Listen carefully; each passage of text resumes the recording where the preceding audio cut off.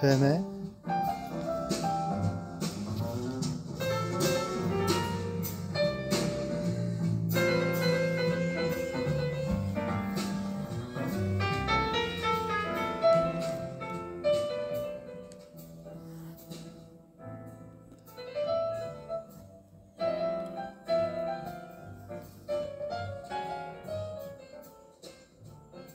원래 라이브 하려면 회사 한 분이 들어오셔야 되는데 라이브 버튼이 새로 업데이트 됐길래 한번 눌러봤는데 되네요.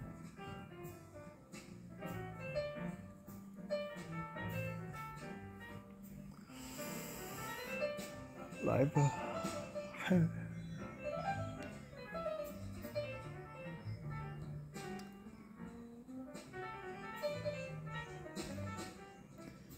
이거- 이건 테스트입니다. 되나 안 되나 구경하는 거.